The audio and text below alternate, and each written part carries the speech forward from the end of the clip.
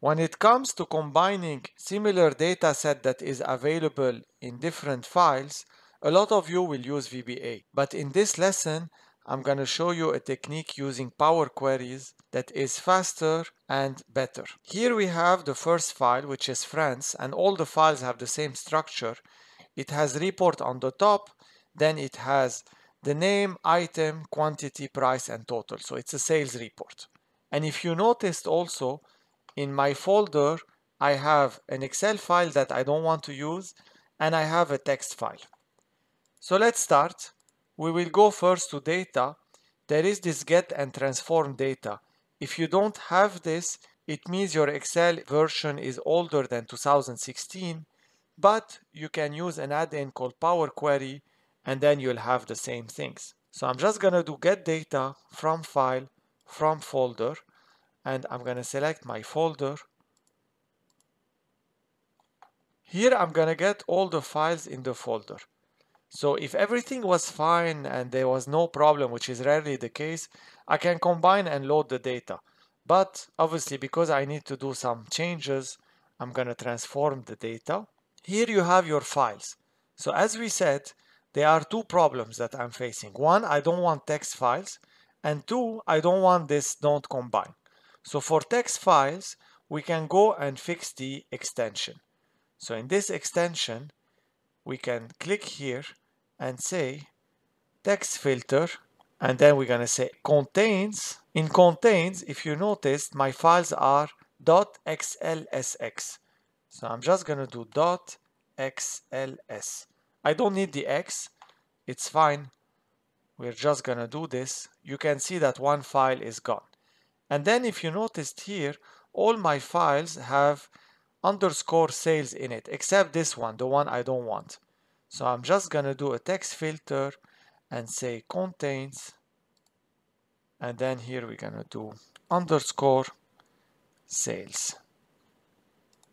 Here we are left with the three files that we want. So we click here on this and we get a window. In this window, what Excel will tell me to do is to fix one file and based on this file, it will try to replicate the same for other files.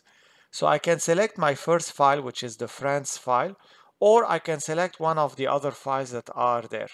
So I'm just going to keep the France file. Under France file, I have my data.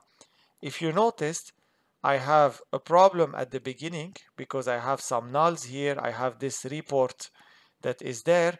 And then these are my column names and then the data. At the bottom of the data, I have some nulls that I want to get rid of and here I have some columns that I don't want. So I have some work to do. Excel Power Query is trying to do as much as it can for me. And if you noticed, we reached here before clicking the OK button, and then all the steps came. So just to go through them quickly, it has filtered hidden files, then it has done some custom changes, which is here on the left side, and we're gonna come and fix this. This is the most important part. Then it has renamed a few columns here, remove other columns, expanded the table column 1, and then change the type. So here it has just checked what is my type for each column and it has fixed the type. And if you see in the output, I have what is the source as a column and then I have my data. So let's go back to this custom function 1 and let's try to fix it. Here if you see I have transform sample file which is where I have a few other steps and this is where this function is working its magic. My advice to you is try to fix the transform instead of fixing the last output that you get. It is much better. If you see here, not much has happened. First we got the source file, navigation, and then promoted headers, which means that this report came to the top. So what I need to do here is a few steps. First step, let's get rid of those extra columns. After total, I don't want column 6 onwards. So I select column 6, I press shift, with the mouse I can click, select column 10, which is the last one, right click, remove columns. Do I want to insert a step? Yes. Now we got rid of those columns. Next, I want to get rid of all these nulls that you see here and at the beginning. So I can come to column 1 and then I can filter null. And I say OK, now we have filtered null. And the other problem that I face is this report that is on the top, I don't want it. So again, I can just unselect it or I can go to text filter and say does not contain. I want to insert a step and I can write report. My report is gone. Next, we keep promoted headers, so the right headers are coming on top. So this is a bit of data cleaning that we did.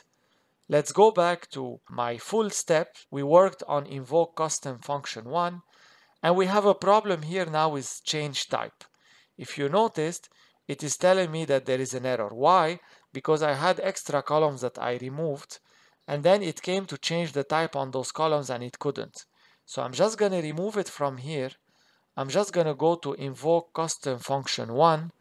I go back to my transform and here if I click I do Control A, I can add a step which is transform detect data type. So I move this change type from the final step to the step where it's transforming each file. If I go back here, I don't have any more errors.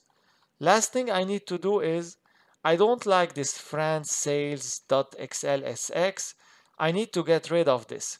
So I can click here, I can do a transform, and I can do an extract. If you see here, there is extract. We can do before delimiter.